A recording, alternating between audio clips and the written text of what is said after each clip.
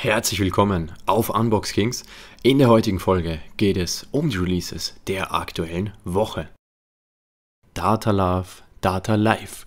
Das Debütalbum Goat erschien im Oktober 2019.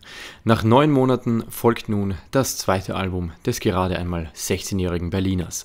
Data Life beinhaltet 14 Tracks, Features kommen von Labelchef UFO 361. Das Album kommt über Stay High und erscheint als Box. Fabson Long V. Fabson ist ein aufstrebender Rapper aus Düsseldorf, der bei Orgis Label I Love Money Records unter Vertrag steht. Das letzte Album Resolution kam im Oktober 2017. Jetzt steht mit Long V das vierte Album des Düsseldorfers an. Der Albumtitel kommt aus dem Französischen und bedeutet so viel wie langes Leben. Long V kommt mit 15 Tracks und beinhaltet unter anderem Features von Orgi und Silla. Das Release kommt über I Love Money Records und erscheint als CD. Shakusa Luna.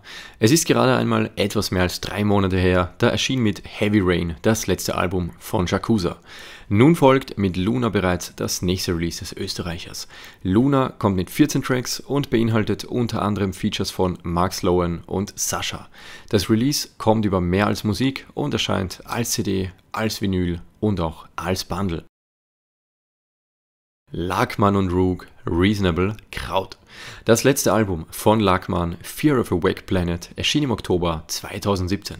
Dazwischen erschien dann im Mai 2019 als Teil von Witten Untouchable noch das Album Trinity. Für sein neuestes Album hat sich der Wittener einmal mehr mit Stammproduzent Rook zusammengetan. Der Albumtitel ist angelehnt an Reasonable Doubt, wozu es einen Film als auch ein Album von JC gibt. Reasonable Kraut kommt mit 16 Tracks und beinhaltet unter anderem Features von BOZ, Cool Savage und Sido. Das Release kommt über EarTouch Entertainment und erscheint als CD, als Vinyl und auch als Bundle. Apache 207 Treppenhaus. Spätestens seit seinem Überhit Roller ist Apache so gut wie jedem ein Begriff.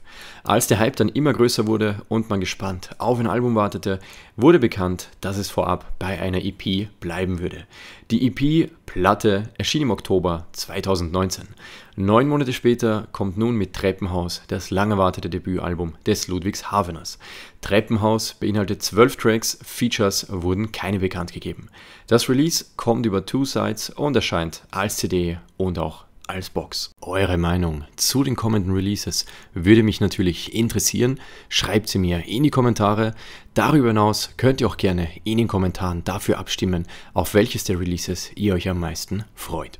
Alle Infos und Links zu den jeweiligen Releases findet ihr wie immer unter diesem Video in der Videobeschreibung. Dort findet ihr dann auch die Links zu den jeweiligen Unboxings. Falls ihr in Zukunft keine Releases mehr verpassen möchtet, dann könnt ihr meinen Kanal gerne abonnieren. Das war's für heute. Wir sehen uns beim nächsten Mal wieder. Passt auf euch auf.